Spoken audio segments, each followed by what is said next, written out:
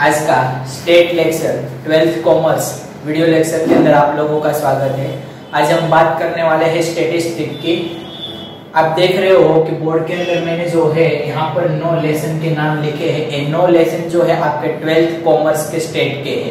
ठीक है? और इसके अंदर जो है, दो विभागों में डिवाइड किया गया है। कि एक से लेकर चार लेसन जो आप देख रहे हो, वो चार लेसन जो है स्टेट का पार्ट वन की किताब में दिया गया है और पाँच से लेकर नौ लेसन जो आप देख रहे हो, वो जो लेसन है आपको दिया गया है पार्ट टू के अंदर स्टेट के। यानी कि पूरे साल के अंदर आप लोगों को कुल मिलाकर कितने लेसन पढ़ने होंगे?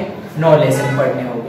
और ये नौ लेसन जो है बोर्ड की एग्ज़ाम में जो उसका मार्क्स दिया गया है, वो डिवाइड किया गया है। यानी कि सभी लेसन को अलग अलग मार्क्स का पूछा जाएगा। जैसे कि मैं अगर बात करूँ, आप पहला लेसन देख रहे हो, पहले लेसन के अंदर सूचक अंक वाला जो लेसन है, उसमें कुल मिलाकर बोर्ड के एग्ज़ाम में 12 मार्क्स के सवाल पूछे गए यानी कि कुल मिलाकर 12 मार्क्स का लेसन है ये। ठीक है? उसी प्रकार से अगर दूसरे लेसन की मैं बात करूँ, रेखिक सहसंबंध वाला लेसन तो रेखिक सहसंबंध वाला दूसरा लेसन जो है, वो भी कितने मार्क्स का है? बारह मार्क्स का है। और अगर बात की जाए तीसरे लेसन की तो तीसरा लेसन भी कितने मार्क्स का है? बारह मार्क्स का है। और चौथा लेसन, यानी कि पार्ट वन पूरा, यानी कि चारों लेसन जो आप देख रहे हो, सूचकांक, रेखिक सहसंबंध, रेखिक नियत संबंध और सामायिक श्रेणी ये चारों लेसन बारह मार्क्स के पूछे जाएँगे, यानी कि कुल मिलाकर अड़तालीस मार्क्स का सवाल, यानी अड़तालीस मार्क्स का पार्ट वन होगा। और बात करें अगर दूसरे पार्ट की तो दूसरा पार्ट के अंदर जैसे कि लेसन नंबर पाँच, छ, सात, आठ और नौ यानी कुल मिलाकर कितने लेसन है? पाँच लेसन ये पाँच लेसन में से यानी कि पार्ट टू कितने मार्क्स का पूछा जाएगा? बावन मार्क्स का। जिसमें से जो अब पांचवा लेसन यानी कि पार्ट टू का पहला लेसन जो देख रहे हो, वो कितने मार्क्स का आने वाला है? बारह मार्क्स का। और उसके बाद जितने भी लेसन आप नज़र आ रहे लेसन नंबर छह, सात, आठ, नौ, यानी कि यादाशित छल और असत संभावना वितरण प्रमाणीय वितरण लक्ष्य और विकलन ये चारों लेसन जो है दस दस मार्क्स के पूछे जाएँगे। समान गुण देंगे इसको और कुल मिलाकर आपका पेपर स्टाइल जो है 100 मार्क्स का दिया होगा। अब मैं बात करता हूँ कि बोर्ड के एग्ज़ाम में पेपर स्टाइल किस हिसाब से रहेगी, ताकि तुम लोगों को मेहनत करने में आसानी रहे। तो मैं बात करूँ पेपर स्टाइल की। तो जैसे कि तुम लोग ग्यारहवीं के अंदर एग्ज़ाम दे चुके हो कि इसके अंदर कुल मिलाकर छह सेक्शनों में पेपर डिवाइड किया जाता है। Section A B C D E और एफ़ के अंदर उसी प्रकार से ट्वेल्थ के अंदर भी जो है पूरा पेपर जो है, वो छह सेक्शन के अंदर क्या किया जाता है? डिवाइड किया जाता है section A B C D E और एफ़ के अंदर। लेकिन वो सभी सेक्शन के गुण कितने हिसाब से होते हैं? सभी सेक्शन में प्रश्न कितने होते हैं और सभी सेक्शन कितने मार्क्स का होता है? उसकी मैं थोड़ी सी बात करूँ, ताकि आप लोगों को पेपर स्टाइल पता रहे और आपको तैयारी करने का पता चले। तो मैं बात करूँ सेक्शन ए की। तो सेक्शन ए जो है तुम लोगों का बोर्ड की एग्ज़ाम में 10 मार्क्स का पूछा जाएगा और कुल प्रश्न होंगे एक से लेकर 10 तक। यानी सभी प्रश्नों के मार्क्स कितने हुए? 10 मार्क्स हुए। और उसके बाद में बात करूँ सेक्शन बी की तो सेक्शन बी जो है आप लोगों का, वो भी 10 मार्क्स का पूछा जाएगा। यानी कि इसके अंदर प्रश्न कहाँ से कहाँ तक होंगे?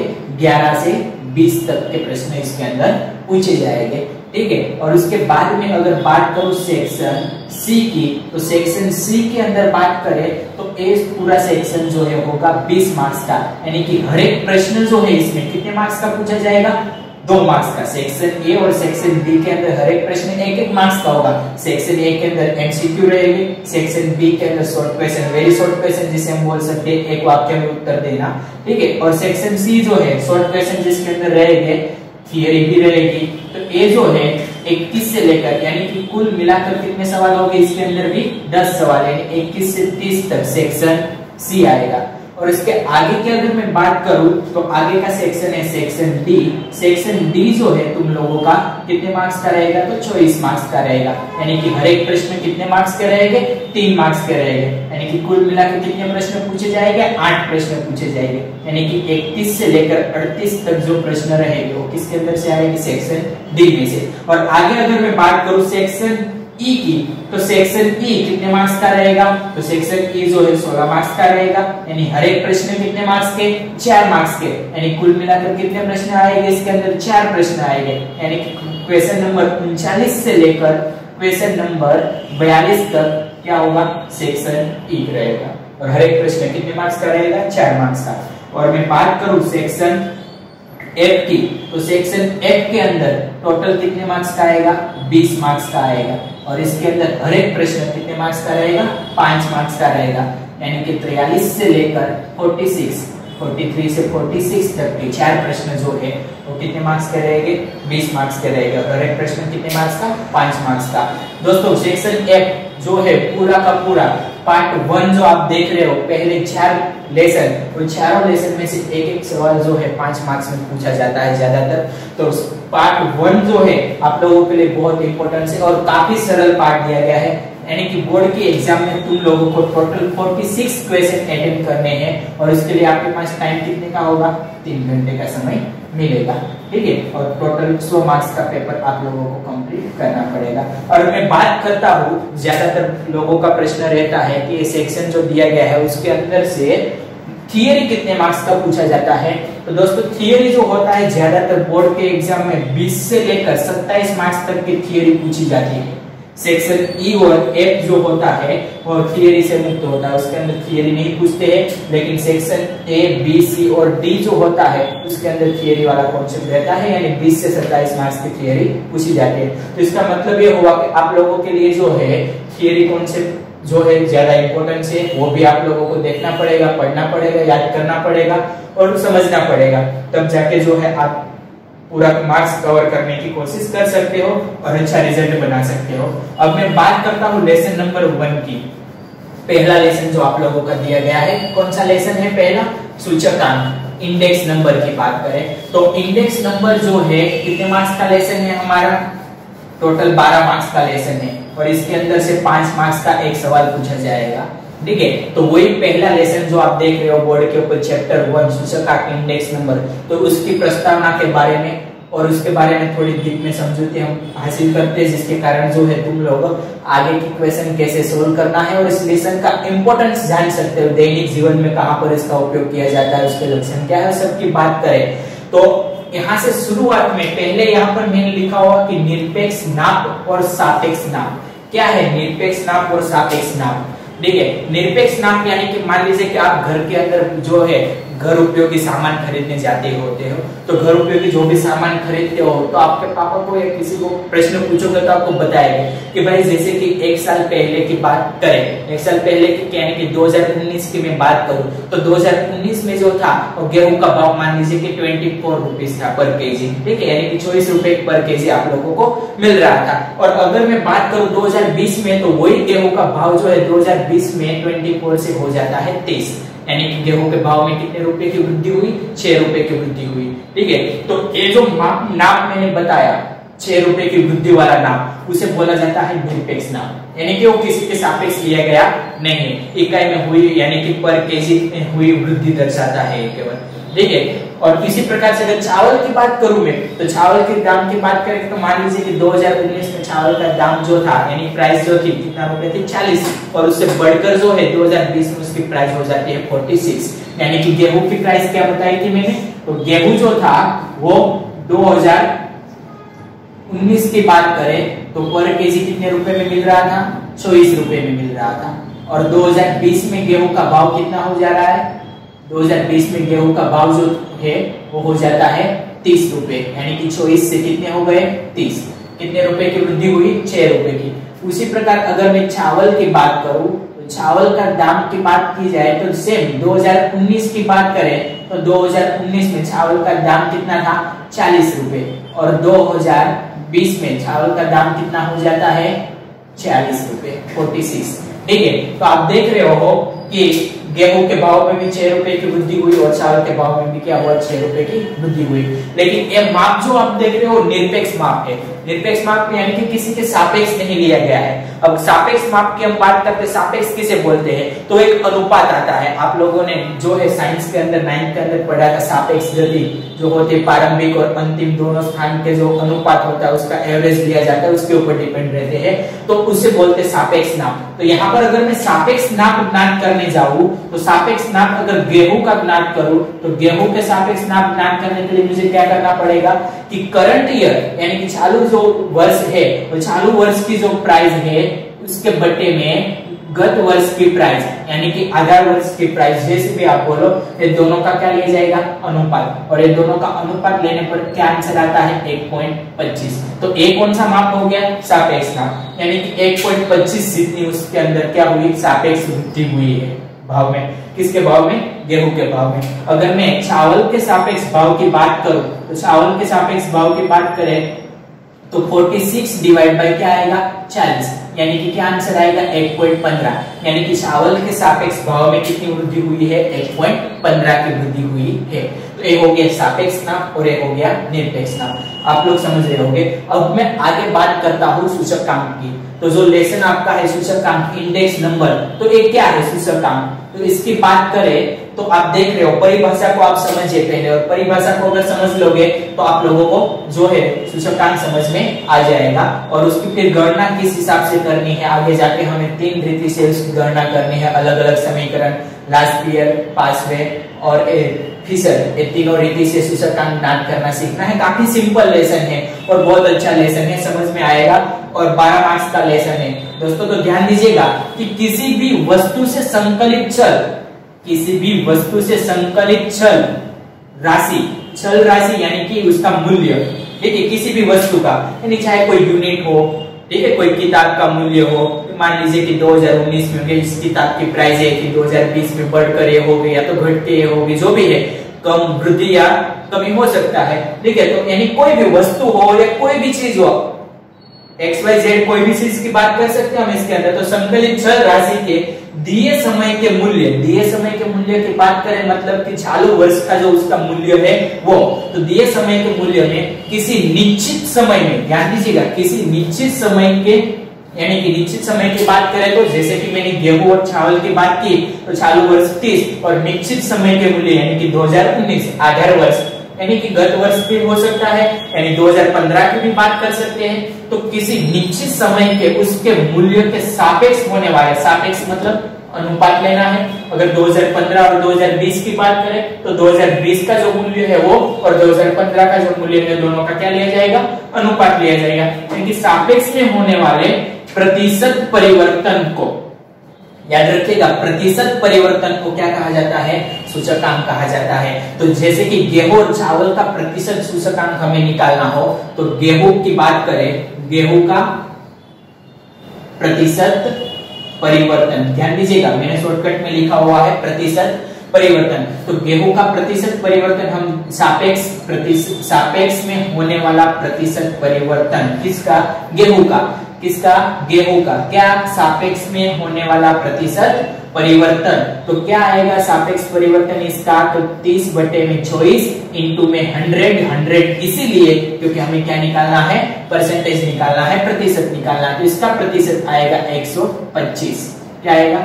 125 और उसी प्रकार अगर मैं बात करूँ चावल का सापेक्ष होने वाला प्रतिशत परिवर्तन, किसकी बात कर रहे हैं अब हम?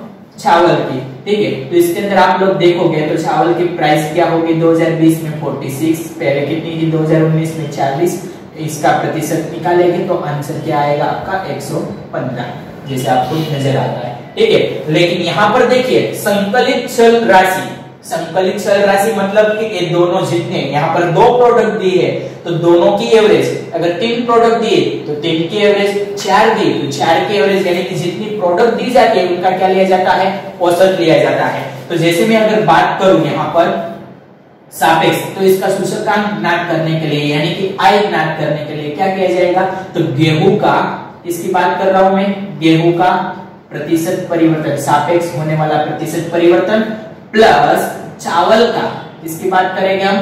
चावल का प्रतिशत परिवर्तन डिवाइड बाय दो। दो से डिवाइड इसलिए किया जा रहा है क्योंकि यहाँ पर प्रोडक्ट की संख्या कितनी ली जा रही है? दो।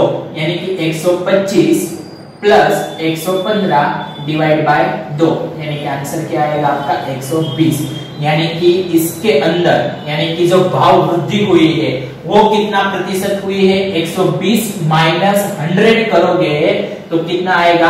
20 प्रतिशत। यानी कि आप लोग जो है, इसके आधार पर भाव में कितनी वृद्धि हुई है? सापेक्ष वृद्धि की बात करें ऑल ओवर प्रोडक्ट की बात करें, ठीक है? सब मिलाकर। तो आप ये बोल सकते हो कि 2019 के हिसाब में 2020 में भाव में 20 प्रतिशत की क्या हुई है? वृद्धि। और जिसको क्या बोला जाता है? सूचकांक बोला जाता है। और इसके लिए एक सामान्य सूत्र जो तुम लोग देख रहे हो, सूचकांक का क्या लिखा हुआ है? मैंने सूचकांक का इंडेक्स नंबर का सामान्य सूत्र यहाँ पर दिया गया sigma P1 one by P zero P one by P zero क्या है? Price of current year P1 मतलब क्या होता है? P1 मतलब चालू वर्ष का। यानी जो वर्ष की हमें बात करनी हो करंट ईयर तो चालू वर्ष का चल मूल्य अथवा तो प्राइस जैसे भी आप बोलो, ठीक है? और उसके बाद P0 क्या होता है? तो P0 जो होता है, वो आधार वर्ष। किसकी बात कर रहा हूँ मैं? आधार वर्ष अथवा तो गत वर्ष, दो में से अगर आपको आधार वर्ष दे दिया गया हो कि 2015 पंद्रह के सापेक्ष आपको बात करनी है तो आधार वर्ष अथवा तो गत वर्ष का क्या है? चल मूल्य है। समझ में आया? ठीक है। चल मूल्य और यहाँ पर आगे सिग्मा लगा हुआ सिग्मा मतलब क्या? P1 one upon P zero जैसे कि मैंने P1 one upon P zero की गेहूँ की बात की तो गेहूँ का जो छल मूल्य मिला वो, चावल का जो छल मूल्य मिला वो, और अगर उस तीसरे की किसी की मैं बात करता यहाँ पर, मान लीजिए कि इसकी जगह पर घी की मैं बात करता हूँ तो घी का जो छल मूल्य मिलता तो ये तीनों का योग और डिवाइड एन एन यानी कि कुल संख्या प्रोडक्ट कितनी है वो? इससे डिवाइड करके हंड्रेड से हम आंसर निकालेंगे। उसके दाम में हुई वृद्धि, यानी कि हम क्या निकाल सकते हैं? सूचकांक प्राप्त कर सकते हैं। तो आप लोग समझ गए होंगे कि सूचकांक कैसे प्राप्त किया जाएगा। अगर आपको फिर से समझना हो तो वीडियो को आप रिवाइज करके भी देख सकते हो, वापस बार बार देख सकते हो, जितनी बार देखना चाहो उतनी बार। अब मैं आगे की बात करता हूँ सूचकांक के लक्षण की। आपकी किताब में दिए गए हैं सूचकांक के क्या क्या लक्षण है? मैंने यहाँ पर शॉर्टकट में बताए हुए हैं, ताकि आप लोग उसे याद कर सको जो मेन पॉइंट है। तो पहली बात यह है सूचकांक जो है वो इकाई रहित अब बोलोगे इकाई रहित यानी कि क्या? जैसे कि निरपेक्ष नाम मैंने लिखा था तो प्रति किलोग्राम यानी कि छह रुपए की वृद्धि हुई। इसमें जो मात्रा लगता था वो किलोग्राम आता था। ले, लेकिन कोई भी सापेक्ष माप आप किसी का भी लेते हो तो कोई भी सापेक्ष माप जो होता है वो मात्रा रहित यानी कि इकाई रहित होता है। जो सूचकांक आप निकालोगे उसमें कोई मात्रा लगेगा? नहीं इसका मतलब जिसका पहला लक्षण क्या है इकाई रहित है और ये तुलनात्मक माप है। तुलनात्मक मतलब क्या हमें तुलना करनी है। किससे तुलना करनी है? कोई एक आधार वर्ष के सापेक्ष हमें तुलना करनी है या तो फिर हमें लास्ट ईयर के सापेक्ष हमें क्या करनी है? करंट ईयर की तुलना करनी है या तो, तो दो वस्तुओं के हमें क्या करनी है? तुलना करनी है। तो ये जो माप दिया गया आपको कौन सा माप दिया गया है? सूचकांक वो कैसा माप है? तुलनात्मक माप है। और तीसरी बात प्रतिशता परिवर्तन प्रदर्शित करने करता एक सापेक्ष माप है। यानी कि ये सूचकांक एक ऐसा माप है जो तुलना को दर्शाता है, उसमें वृद्धि और कमी जो है, वो किसमें परिवर्तित करके दर्शाता है? प्रतिशत जैसे कि यहाँ पर हमने बात की सूचकांक की तो भाव में कितने प्रतिशत की वृद्धि हुई है? 20 परसेंट की वृद्धि हुई है। यानी कि प्रतिशत माप दर्शाने वाला एक सापेक्ष माप है क्या सूचकांक। और विशिष्ट औसत है औसत मतलब जैसे आप यहाँ पर देख रहे हो, गेहूँ का जो दाम था, यानी कि सूचकांक मिला था सापेक्ष माप, और प्लस चावल का जो सापेक्ष माप मिला था, वो दोनों का हमने क्या निकाला है यहाँ पर? औसत निकाला है। यानी कि एक विशिष्ट औसत है, और ये सभी लक्षण धारण कर सकते हैं। यानी कि इसके अंदर जो भी प्रोडक्ट है, अगर बात करें हम चावल की, जो किसमें लिया जाता है? किलोग्राम में। और उसके बाद अगर मैं कोई लिक्विड पदार्थ की बात करूँ तो उसका मात्रा जो होगा किसमें लिया जाएगा? लीटर में। तो उसको भी हम इसके अंदर इंक्लूड कर सकते हैं। यानी कि सभी विशिष्ट लक्षण, यानी सभी लक्षण को क्या कर सकता है? धारण कर सकता है और उसकी एवरेज विशिष्ट औसत हम प्राप्त कर सकते हैं। और उसके बाद अगर मैं बात करूँ तो भिन्न भिन्न समय की परिस्थिति के अनुपात। भिन्न भिन्न समय की परिस्थिति के अनुपात द्वारा मानक समय के साथ तुलना। जैसे कि मान लीजिए कि भिन्न भिन्न समय की परिस्थिति तो जैसे कि मैं बात करता हूँ कि 2010 की बात करें तो 2010 में जितनी वस्ती थी, उस समय की जो वस्ती थी और करंट ईयर की जो वस्ती थी, उसके अनुपात द्वारा मानक समय के साथ तुलना, यानी कि करंट जो समय है, उसके साथ हम क्या कर सकते हैं? तुलना। कितनी वृद्धि हुई है, कितनी कमी हुई है कितना इंक्रीजमेंट आ रहा है, हर साल कितना बढ़ रहा है, हर साल कितना कम हो रहा है सारी जानकारी जो है, हम किसके द्वारा प्राप्त कर सकते हैं? सूचकांक के द्वारा प्राप्त कर सकते हैं। और अगर मैं बात करूँ कि इसका उपयोग कहाँ कहाँ पर किया जाता है, दोस्तों, ध्यान रखिएगा, बहुत बार पूछा गया सवाल है जो बोर्ड के एग्ज़ाम में पूछा जाता है, मैंने यहाँ पर जो है टाइटल लिखी हुई है, उसको आपको डीप में एक्सप्लेन करना पड़ेगा। एग्ज़ाम के अंदर जो है, ये दो मार्क्स में सवाल पूछा जा सकता है कि सूचकांक के उपयोग बताइए अथवा तो सूचकांक के लक्षण बताइए। काफ़ी इंपोर्टेंट सवाल है। और वैसे भी स्टेट के अंदर ज़्यादातर जो आप सवाल देखोगे, पिछले साल के पेपर उठाकर देखोगे तो क्या पूछा जाता है लक्षण अथवा तो क्या पूछा जाता है उपयोग? बहुत ज़्यादातर पूछा जाता है, इसलिए याद रखना पड़ेगा आप लोगों को। और बात करूँ मैं, पहला यहाँ पर दिया गया है, क्या दिया गया है? व्यापारिक परिस्थिति व्यापारिक परिस्थिति की बात करें कि मान लीजिए कि कोई बिजनेसमैन है व्यापारी है, वो व्यापार कर रहा है तो उसकी परिस्थिति कैसी है? परिस्थिति मतलब कि उसकी कंडीशन कैसी है? बिज़नेस की कंडीशन की मैं बात कर रहा हूँ कि भाई 2019 में जो था, ये भाई इतने पैसे कमाया 2020 में वो कितने पैसे कमाया 2021 में कितने मतलब इस प्रकार से उसका जो नंबर हमें दिया गया होगा इनकम रेशियो हमें दिया गया होगा तो उसके करंट ईयर में और उसकी वृद्धि कितनी होती है और उसके बिज़नेस में कमी कितने की होती है, इसके अंदर भी सूचकांक का उपयोग किया जाता है। और थोक मूल्य की मैं बात करोगे थोक मूल्य की बात करें तो मान लीजिए मैं आपको एक उदाहरण दे रहा हूँ कि जैसे कि अपने घर के अंदर मैं बात करूँ तो मान लीजिए कि हाल की बात करें तो जनवरी महीने की 2020 में तो जनवरी मास के अंदर आपका पूरे मास का खर्च कितना आया हो? फरवरी में कितना आया वो मार्च में, अप्रैल में। उस प्रकार से चारों मास का जो खर्च है, वो आप लोगे और चारों मास का खर्च जो है, जनवरी मार्च के खर्च के सापेक्ष आप क्या करोगे? ज्ञान करोगे और सूचकांक प्राप्त करोगे। यानी कि टोटल मूल्य जो है, उसमें कितने परसेंट की वृद्धि हुई है? फरवरी में कितना परसेंट वृद्धि हुआ? मार्च में कितना परसेंट वृद्धि हुआ? अप्रैल में कितना परसेंट वृद्धि हुआ? और थोक मूल्य के द्वारा आप क्या कर सकते हो? ज्ञान कर सकते हो और जानकारी हासिल कर सकते हो। जीवन निर्वाह खर्च। जैसे कि मैं बात करूँ बहुत इंपॉर्टेंट है। देखिए, जीवन निर्वाह खर्च, कि मेरी बात करूँ, कि मेरे को जो है 2019 की बात करें तो 2019 के अंदर जो जीवन निर्वाह की बात करें तो मुझे लगभग दस हज़ार रुपए पर मंथ की ज़रूरत पड़ रही थी, यानी कि सालाना एक लाख बीस हज़ार रुपए जीवन निर्वाह के लिए ज़रूरत पड़ रही थी। और 2020 की अगर बात करें तो पर मंथ जो है मुझे बारह हज़ार रुपए की ज़रूरत पड़ रही है यानी कि सालाना मुझे एक लाख चौवालीस हज़ार रुपए की क्या पड़ रही है जीवन निर्वाह खर्च की ज़रूरत पड़ रही। है तो मेरा खर्च जो है कितना परसेंट वृद्धि हुआ है, उसकी मैं बात कर सकता हूँ। इसमें केवल मेरा अकेले का खर्च नहीं, मेरे पूरी फैमिली का खर्च भी मैं क्या कर सकता इंक्लूड कर सकता हूँ। पाँच लोगों का मेरा खर्च इतना है, पापा का खर्च, भाई का खर्च, बहन का खर्च, मम्मी, जो भी खर्च है उसका टोटल जैसे कि हमने यहाँ पर गेहूँ और चावल लिया, उसी प्रकार से पूरी फैमिली का खर्च भी हम इंक्लूड करके जीवन निर्वाह खर्च क्या कर सकते हैं? ज्ञान कर सकते हैं सूचकांक के द्वारा कितने परसेंट की वृद्धि हुई है वो। और उसके बाद मानव विकास की बात करें तो मानव विकास यानी कि जो भी मानव के अंदर विकास जो हो रहा है टेक्नोलॉजी का विकास, कई सारा मतलब उसके अंदर भी हम इस सूचकांक प्राप्त कर सकते हैं। और राष्ट्रीय आय, यानी कि हमारी जो इनकम है नेशनल इनकम ठीक है? उसके बारे में भाई 2019 के अंदर इंडिया की इनकम ये थी 2020 के अंदर उनकी इनकम ये हुई। चाहे वो कम हुई हो वृद्धि हुई, वो भी इसके द्वारा हम क्या कर सकते हैं? ना, क्योंकि राष्ट्रीय इनकम जो होती है अलग अलग प्रकार की होती है। भाई, कोई टैक्स के द्वारा कोई इनकम हुई है रेलवे के द्वारा जो इनकम हुई है फ़्लाइट के द्वारा जो कुछ भी इनकम हुई है टोटल इनकम जो है, इस प्रकार से हम क्या कर सकते हैं? ज्ञात कर सकते हैं। और औद्योगिक उत्पादन, भाई 2019 में जैसे मैंने आपको उदाहरण दिया कि इसमें इतना उत्पादन किया 2020 में इतना उत्पादन किया, उसके द्वारा भी हम क्या कर सकते हैं? सूचकांक प्राप्त कर सकते हैं। कृषि उत्पादन कृषि उत्पादन की भी हम क्या कर सकते हैं कंपैरिजन कर सकते हैं कि भाई जो इस गाँव है, उस गाँव के अंदर जो था 2018 के अंदर इतना उत्पादन हुआ था 2019 में इतना उत्पादन हुआ 2020 में इतना उत्पादन हुआ तो उस उत्पादन में क्या कमी हुई है, क्या वृद्धि हुई है, वो जानकारी भी हम किसके द्वारा प्राप्त कर सकते हैं इंडेक्स नंबर यानी कि सूचकांक के द्वारा। और आयात निर्यात आयात निर्यात यानी कि इनकमिंग आउटगोइंग अथवा तो इंपोर्ट एक्सपोर्ट भी हम बोल सकते हैं कि भाई कितना आयात हुआ है, कितना यहाँ से माल कितना बाहर की कंट्री में या तो बाहर के स्टेट में या बाहर की सिटी में कितना गया है और कितना माल वहाँ से आया है। आवक कितनी है, जावक कितनी है, ये सारी जानकारी भी हम किसके द्वारा सूचकांक के द्वारा प्राप्त कर सकते हैं और धंधे व्यवसाय के लिए भी सूचकांक काफ़ी इंपोर्टेंट है।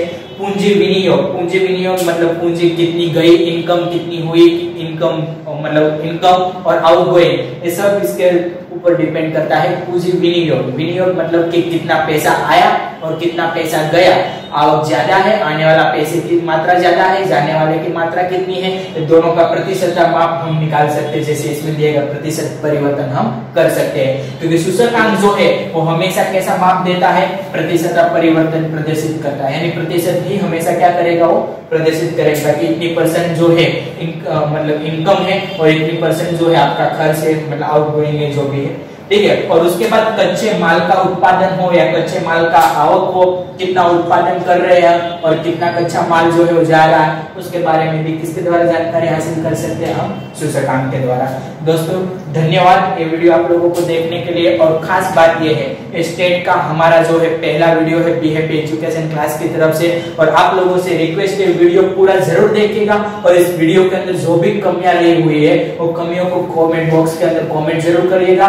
और बी हैप्पी एकेडमी नामक हमारी जो चैनल है, उसको सब्सक्राइब ज़रूर करिएगा। और ये वीडियो जो है, अपने दोस्तों तक शेयर करिएगा और दोस्तों को दिखाइएगा और उनको भी बोलिए कि वीडियो को शेयर करें सब्सक्राइब करें, ताकि इतने अच्छे वीडियो हम आगे भी बनाते रहे। और ये जो लॉकडाउन चल रहा है, कोरोना वायरस के कारण। और इसके अंदर घर बैठे आप लोग जो है अच्छे वीडियो देखकर आप अपनी पढ़ाई कर सकते हो। थैंक यू धन्यवाद।